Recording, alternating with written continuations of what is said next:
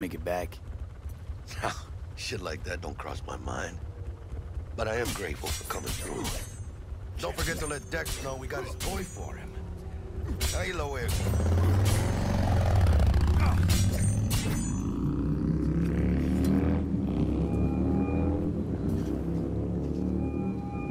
How things looking, Mr. V? Got the bot. And how'd it go? Run into any trouble? And what about the Militech angle? Did it without Militech holding my hand. Didn't want to risk it. So how'd you get that cat Royce to hand over the flathead? Only way I know that always works. Brute force. You got some balls, Mr. V. What about the meet with Evelyn Parker? Still on? The only thing that'll get you a chance at grabbing that chest. Parker will be waiting